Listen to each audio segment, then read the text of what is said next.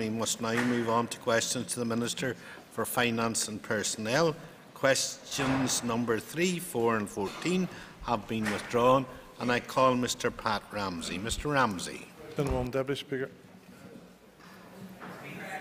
no discussions with the Minister for Social Development regarding the use of financial transactions capital for planned social housing. However, I am aware that there are a number of affordable housing projects exploring options to utilise financial transactions capital.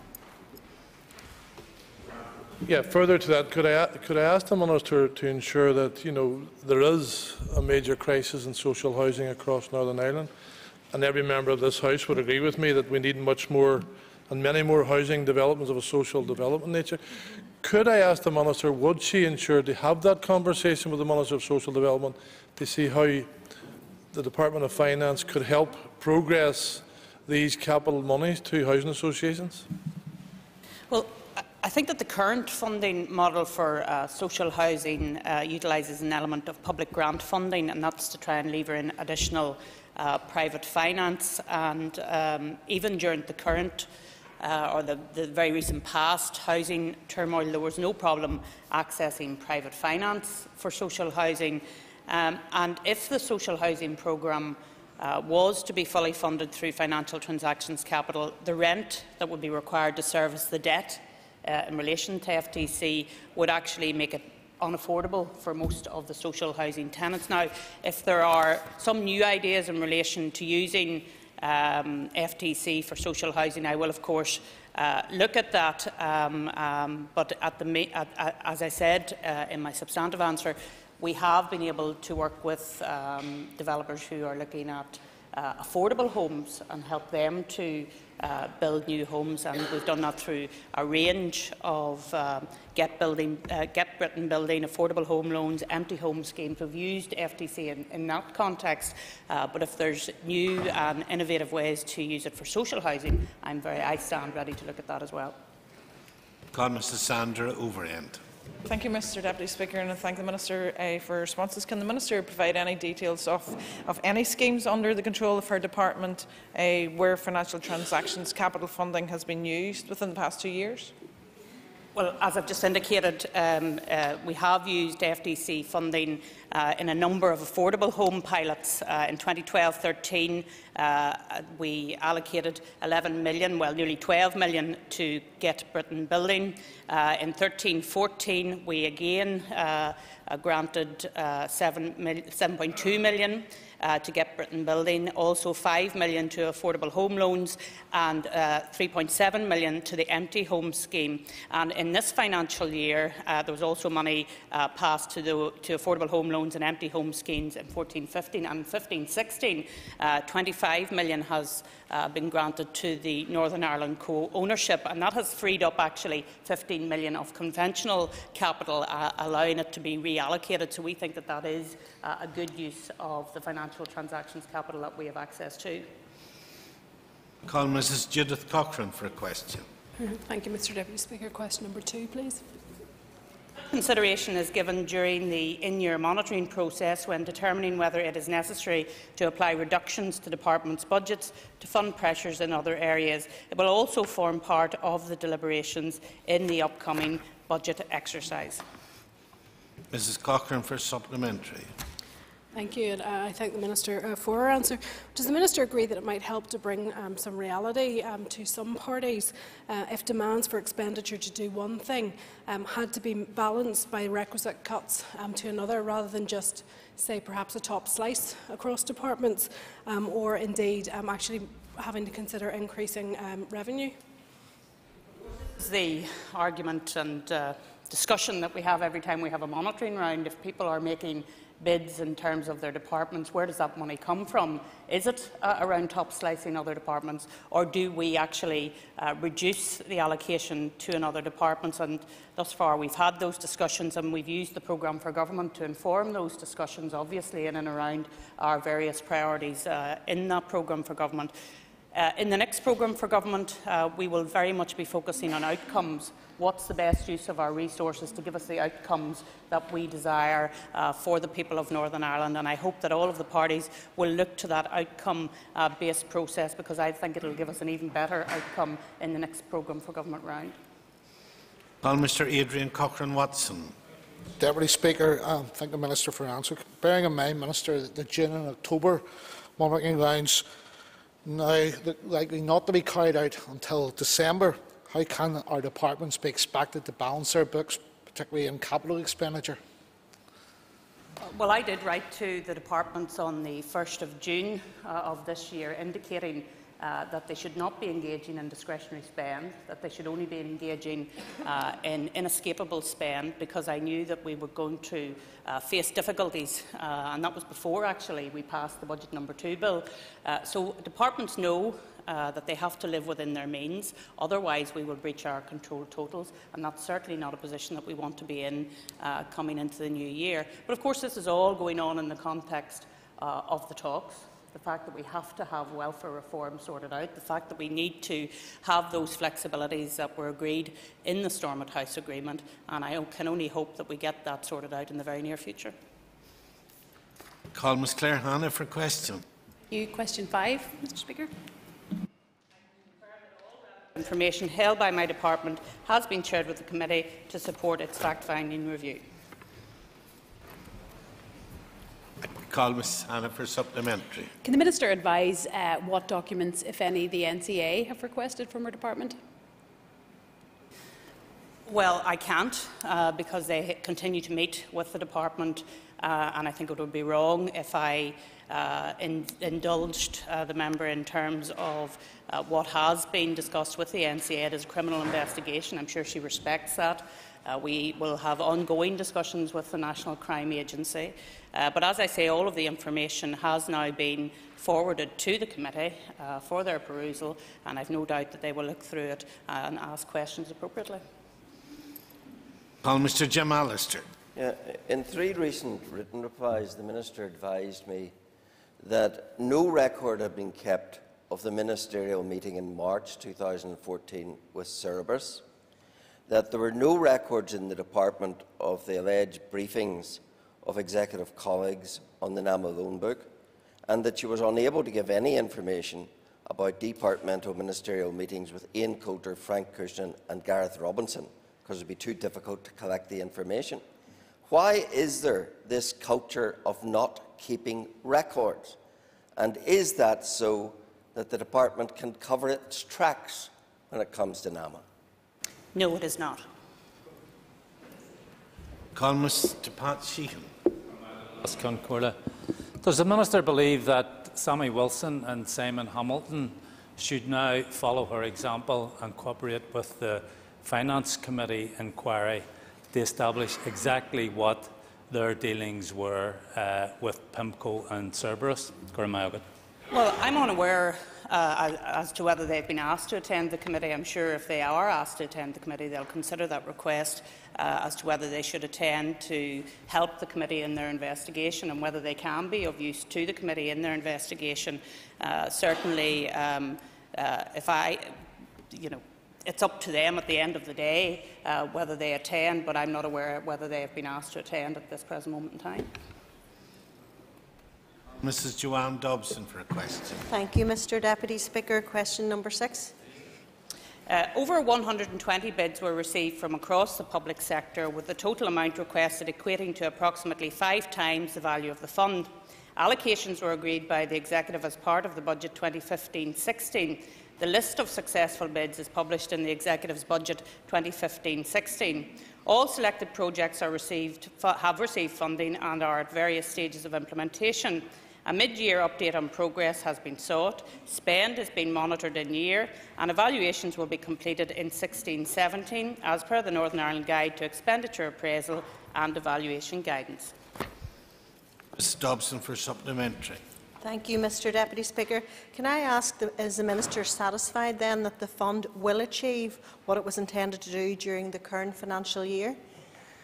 Yes, I, mean, I, I was very encouraged uh, with the level of applications to the fund. Um, I do recall when I was in my previous role as Enterprise Minister uh, that we were able to draw down a significant amount of money uh, to actually deal with skills in relation to the workforce here. So I am hopeful that it will deliver on the aims and objectives that were set out uh, for the fund, which were, of course, to encourage innovation in the public sector, uh, to improve integration and collaboration between government departments, arm's-length bodies, the private sector uh, and the third sector, uh, to support a decisive shift towards uh, preventative spending, uh, with a focus on improving outcomes for citizens, uh, and to support transformational change required to sustain medium to long-term uh, efficiency measures. So those were the aims uh, of the fund. And I am certainly hopeful that the money uh, that we are spending right across uh, the Northern Ireland Civil Service will help us to deliver on those aims. Well, Mr Andy Allen for a question. Thank you, Mr Deputy Speaker. Question 7, please. Uh, the Department of the Environment was allocated £50 million financial transactions capital for the ARC21 waste facility project by the Executive in its budget for 15-16. The member will, will be aware of the announcement by the Environment Minister on the 24th of September 15 to refuse planning permission for ARC21 waste facility at Hightown Road. DOE has now formally confirmed that the 50 million financial transactions capital is now not required in 15-16 and is being surrendered for the Executive to reallocate. Mr Allen for supplementary. Thank you. Thank you. Thank the Minister for a response. My party repeatedly argued that the money should not have been allocated in the first place. Does the Minister now agree that the 50 million allocation was premature, not least given the fact that the permission was always uncertain? Well, the money was uh, allocated after uh, a, a, request uh, from the Department of the Environment. Uh, they're now indicating uh, that they do not uh, wish to use that financial transactions capital. Um, I accept and wholeheartedly agree with them um, that announcing a reduced requirement of this scale so late in the financial year is disappointing. Uh, I think it is disappointing. However, there's no reason why it should be lost to Northern Ireland, and the Executive will consider reallocating uh, the 50 million FTC along with any other financial issues facing the Northern Ireland Executive and the block grant uh, through the in-year monitoring progress, which I hope will happen after the talks are finished. Call Mr Dominic Bradley. Uh, thank you very much, uh, Mr Deputy Speaker. Um, can I ask the Minister, is it not the case that the uh, amount of financial transaction capital which was available to Northern Ireland was oversubscribed? And does this uh, uh, 50 million now not enable those who didn't benefit from uh, it previously to benefit from it now? Well, uh, that's not the way it works. If it was oversubscribed last year, it doesn't just follow through uh, into this year. We have to make allocations uh, on a yearly basis. Uh, we will try and reallocate uh, this amount of money. As the member is probably aware, we are setting up uh, the Northern Ireland Investment Fund, and it may well be the case that we reallocate it to the Northern Ireland Investment Fund. Um, and uh, we can move forward on that basis. Um, as I said, it is disappointing it's so late in the year, but we will try and do our best to make sure it's reallocated. Well, Ms Maeve McLaughlin for a question. Please. The Executive has not made any decisions regarding budgets beyond the 15-16 financial year.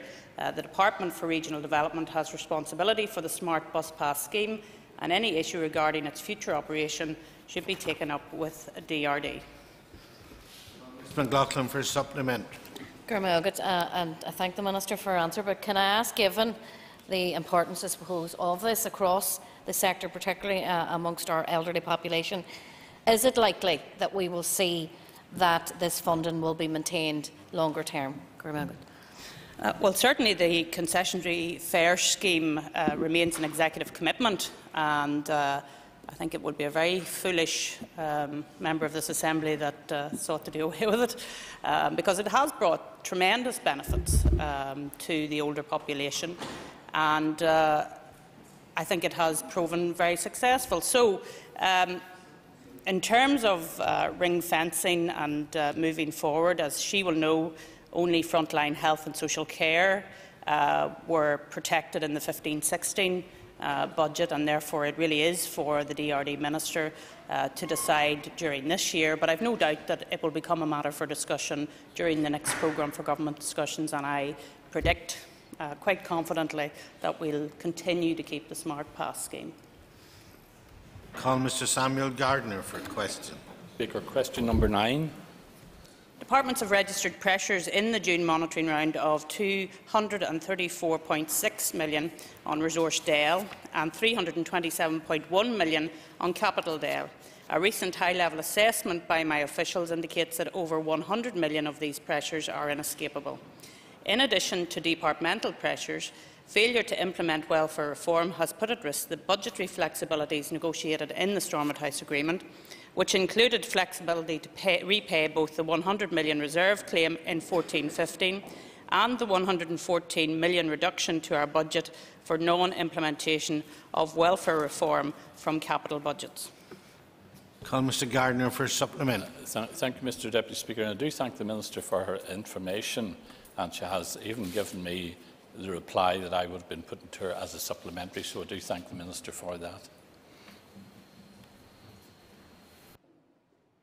On Mr Chris Lyttle. Thank you, Deputy Speaker. Can I ask the Minister how uh, inescapable pressure is defined and how her department scrutinises uh, such bids from other departments? Well, as you can imagine, we have to go into quite some detail uh, with accounting officers to find out which bids are speculative as opposed to contractual. And it's really that element that we look at, whether uh, departments have, are contractually obliged to deliver on particular issues. And uh, after that exercise, as I've indicated, uh, we believe that the inescapable budgets, not the things that would be nice to do or good to do, but the inescapable piece is in and around 100 million. Mr Phil Flanagan for a question. Question number 10. There are no plans to publish monthly details of rate collection for both domestic and non-domestic customers. Call Mr Flanagan for a supplementary. I thank the, the, Minister for her answer. She's really un, informed today in providing uh, informative and, and, concise answers, uh, which is good to see, even though we don't always agree with the, the, content of them. Can I ask the Minister whether she agrees that the release of timely and accurate um, information would give the public a greater insight into the workings um, of the government and increase the confidence of businesses in LPS and how it works? I do, absolutely, and uh, as he will know, uh, LPS provides uh, unaudited information to the DFP committee uh, at regular intervals throughout the year. Uh, they do um, uh, make every effort to support those who are struggling to pay, and we do recognise that there are a number of people who struggle to pay uh, their rates bills, uh, but they also must rigorously um, pursue those who don't pay as well, and that has to be taken into account. Uh, in terms of the collection rate against target for 14-15, uh, a total of 1.175 billion was transferred to the Paymaster General uh, against the target of 1.165 million for 14-15, which was 37 million pounds more than 13-14. So last year uh, was a good year in terms of rates collection for Northern Ireland. The member will be aware that I have been encouraging concise questions as well as answers for years. I call Mr Trevor Lunn. Deputy Speaker, question 11, please. The Ministerial Advisory Council, the MAC, was uh, established in July 2014 and brings together an international expert advisory panel of practitioners, business people and academics to provide independent expert advice on public sector reform, improvement and innovation in Northern Ireland. The MAC has met on three occasions to consider and provide advice on a range of reform-related themes and initiatives, including the OECD review, staff reward and recognition and outcome-based measures. The most recent MAC meeting involved members working alongside senior officials from all executive departments in a workshop format to explore the challenges and obstacles associated with addressing and implementing cross-cutting reform. The topic of ageing was used as a practical exemplar, and outputs from this work will help to inform future approaches to cross-cutting reform. Mr Lunn for supplementary. Yes, I thank the Minister for that answer. I'm, I'm sure the work of this, this body is, is, very important and potentially fruitful, but it is a fact, I think, it, it hasn't actually met since, since March. As, is, is the Minister satisfied with that situation and satisfied with the general progress of the project? Well, I mean, I do very much um, welcome the work that the MAC are engaged on. Uh, the meeting, which was actually scheduled for the 17th of June, uh, was cancelled not by the group but by me because I was called to attend an urgent uh, meeting uh, at Her Majesty's Treasury in London. And uh, then there was to be a second meeting on the 10th of September. Uh, and if I can remind, the member, that coincided with the commencement of uh, all-party talks. So there have been, unfortunately, two dates that haven't been able to be completed on, and uh, I very much look forward to uh, chairing the next meeting of the Ministerial Advisory uh, Council on the 3rd of December, when we're going to focus on communication and public engagement, and I'm sure everybody in this House will want that meeting to take place. I call Mr Danny Kennedy for a question. 12, please.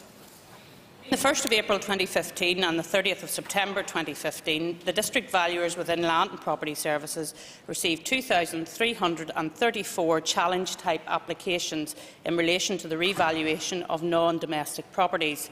This equates to some 3% of the total number of non-domestic properties in Northern Ireland. Of the cases completed by the district valuers, 94 have proceeded to the next stage in the appeals process with an appeal to the Commissioner of Valuation. Call Mr Kennedy for supplementary. To the Minister for her, uh, her answer. Minister uh, will be aware of, of concerns from uh, uh a great many of, of my constituency, uh, uh, constituents in Newry and Armagh who have concerns about not only the appeals process but the, the outcome of, of the revaluation. could I ask the Minister, um, would you be prepared to meet with me to discuss these issues? I'm certainly uh, happy to meet with the member in relation to any specific issues he has. Uh, I'm a little bit concerned when he says he has concerns about the appeals process, which I had hoped uh, was pretty transparent. Um, however, if he has particular issues in and around the appeals process, I'm happy to speak to him. Uh, as he knows, uh, the revaluation was carried out uh, not to increase the amount of money raised, but to redistribute it on a, a modern rental evidence because there hadn't been a revaluation for some 12 years and we had been through the highs and lows uh, of the property boom uh, by that stage. So happy to have that meeting and look forward to discussing the issues with him. Mr Raymond McCartney for a question. Uh, question 13, please. My Permanent Secretary David Sterling, provided oral evidence to the Finance Committee's fact-finding review into the sale of NAMA Northern Ireland loan portfolio on the 23rd of July 2015. Mr Sterling is available to attend a, fur a further oral evidence session should that be deemed necessary. Mr McCartney for supplementary. Uh, uh, last one, August going break slash and Thank you very much, Deputy Speaker, and can I thank the Minister for her answer because I think one of the, the the issues which surround the whole NAMA is this sort of idea of claim, counterclaim, uh, sometimes confusion, but sometimes evasion. And when the Permanent Secretary was in, he, he did say that he couldn't answer questions because of, of, the possibility of a criminal investigation. Our people are saying that he could answer questions because some of the questions aren't related. So I think it's a good signal that he is coming back in because I think it's in the public interest that he's in and clears up any issues which he can clear up. Uh, and uh, indeed, I indicated it to the committee just last week that he was prepared to come back, and uh, we await hearing from the committee as to when they wish him to come back. We have now exhausted questions to the Minister, and we can move on uh, to topical questions. And I call Mrs Sandra Overend. Thank you, Mr Deputy Speaker. Can I ask the Minister if she has ever met with uh, Gareth Robinson Ian Coulter or Frank Cushnan in any of her ministerial roles? And if so, was NAMA ever discussed? Uh, well, to the last uh, part of her questions, no, NAMA was never discussed. Have I met with Gareth Robinson? Yes, I have. Have I met with Ian Coulter? It would be rather strange if I hadn't, because he was the chair of the CBI at the time when I was the Minister for Enterprise, Trade and Investment. Have I met Frank Cushnan uh, in ministerial role? I don't believe so, but I have met him uh, but I don't believe I have met him as a minister. Mrs Overend for supplement. Thank, thank, you, Mr Deputy Speaker. I thank the Minister. Um, can I ask the Minister then if at any stage the idea of fixers' fees of millions of pounds was ever mentioned? I am tempted to say, unfortunately not, but that may be construed wrongly, uh, Mr Deputy Speaker. So no, at no time were fixers' fees mentioned uh, to me. As the member will realise, uh, I was the Minister for Enterprise, Trade and Investment up to May of this year, and at no time were those matters discussed with me. Mr Patsy McGlone for a topical question. Uh, Grandma, last on Colleagues Moiha slash Ira Kamai. Thanks very much, Mr Deputy Speaker, and I thank the Minister too. Um, could the Minister provide us with some detail, and I know some level of research has been carried out around the issue of enterprise zones, and uh, that a scoping exercise has been carried, I don't know whether it's by our own officials or some other departmental officials, but can she advise at what level of advancement the negotiations are proceeding with the Westminster Government and the Treasury around that matter, please? Well, as the member knows, uh, as chair of the Enterprise Committee, uh, we were granted uh, the prospect of having an enterprise zone, and the Coleraine was the one that was uh, put forward. Uh, the letter from the First and Deputy First Minister has now been sent to Her Majesty's Treasurers to request that that is uh, allocated as an enterprise zone. On the wider issue of further work in terms of enterprise zones and other matters indeed, uh, because I know some of his colleagues have been raising issues in and around city deals, for example, uh, and other issues. We are looking at all of those issues in the round to see what is the best fit for Northern Ireland in terms of particularly regional disparity. Are there some other ways in which we can deal with those issues which are suited to Northern Ireland? McGlone for supplement. I, I, thank the Minister for a response. Um, does the Minister at this stage have any kind of timescale or time frame around that when those areas, once being identified, might be advanced to the next stage of, of the level of body of work that's required around that, just in the same way as Coleraine has been done? Well, of course, we have to, first of all, it's a pilot, so we have to see how Coleraine works uh, and so we have to give that uh, a bit of time. But that shouldn't stop uh, both my own department and the Department for Enterprise, Trade and Investment engage, and social development as well. Actually, we ha I had a very useful meeting uh, with both of those ministers in the summer uh, in and around how we could develop further the concepts that were there, how we could make the best fit for Northern Ireland as opposed to just copying what was happening on the mainland. So I think it is important that we do what's right for Northern Ireland. Uh, is it at, a, at a, an advanced stage? No, it's not uh, but I think uh, we do have to wait and see how the pilot works in Coleraine first. To Sean Rogers for a topical question. Mr Deputy Speaker, Minister, I noticed the developments with e-tenders NI. What steps are being taken to ensure that all SMEs have access to suitable broadband and to ensure they can do their tenders online?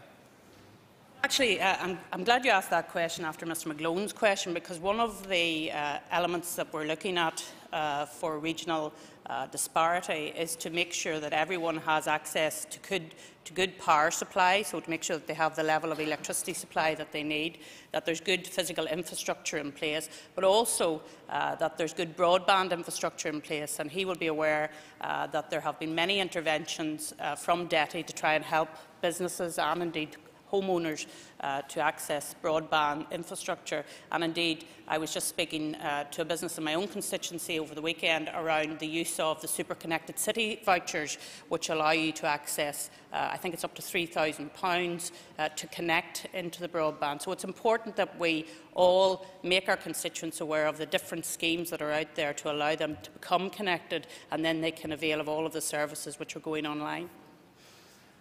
Mr for supplement.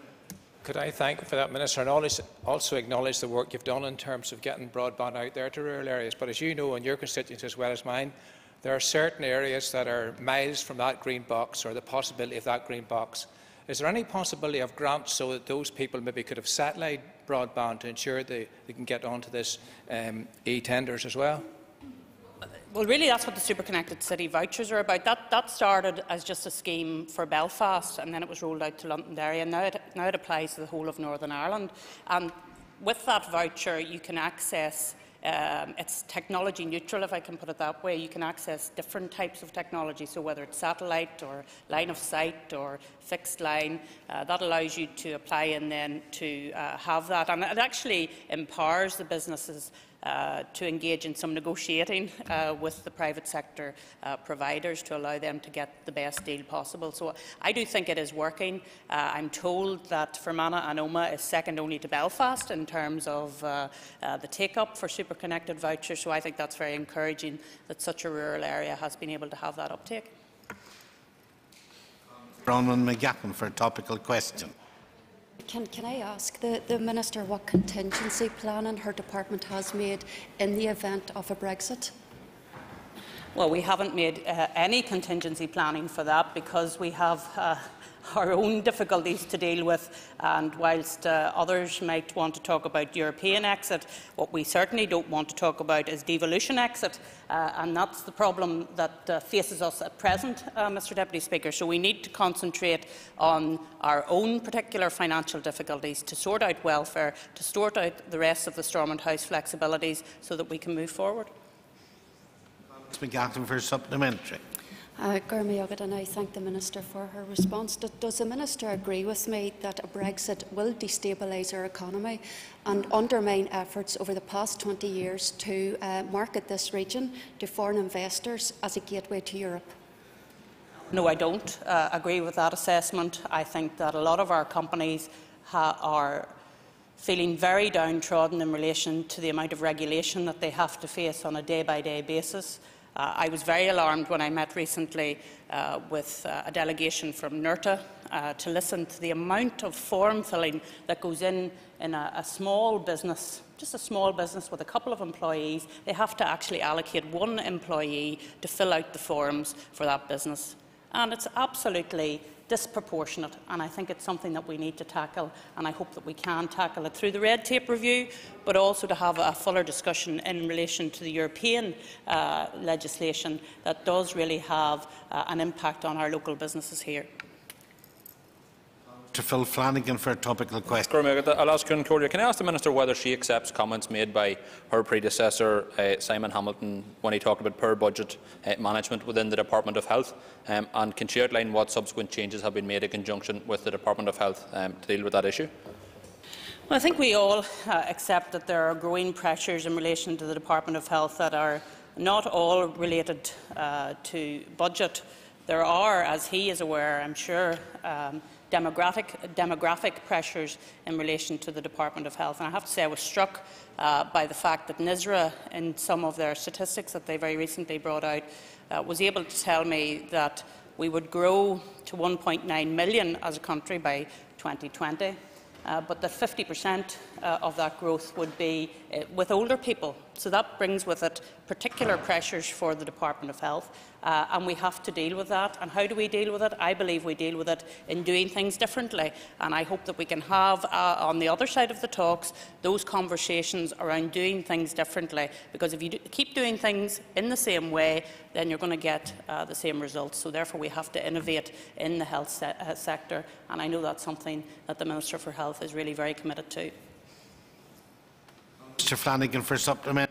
I suppose the, the, Minister didn't really answer the, question on that, on that occasion. Um, but can she give me an indication as to whether um, she now accepts that her party has, has no credibility um, amongst the community now, given the, the, way their ministers are coming in and out of office, um, like Lanigan's Ball, um, and not dealing with scandalous uh, waiting lists um, and, and, other pertinent issues? So she can tell me how her party is going to try and deal with that uh, crisis within the health service without having a full-time Minister of Health in office? I'm certainly not going to take lessons about credibility from the member from Fermanagh and South Tyrone who has posed that question. Uh, I have to say, coming particularly from him, it's almost laughable. Um, can I say this? The, uh, the party opposite have engaged uh, in putting their heads in the sand for almost two years now in relation to welfare reform. And yet, we all know in this House and outside actually as well, don't be under any illusion, don't be trying to distract from the fact that because of the fact that you have not grasped the reality of the budgetary situation here in Northern Ireland, that we're losing £10 million every single month from the budget. Now, £10 million would be able to do quite a lot in the health service, Mr Deputy Speaker. I think it would bring us over 2,000 hip replacements and uh, it would deal with uh, even more knee replacements. So I am not taking lectures from the member in relation to credibility and certainly not in relation to financial management. Uh, order, please. Up until now, members have been extremely good and have not been shouting from sedentary positions.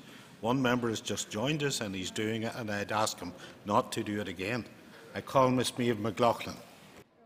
Can I ask the Minister to clarify how many NAMA-related meetings relating to her department were not minuted?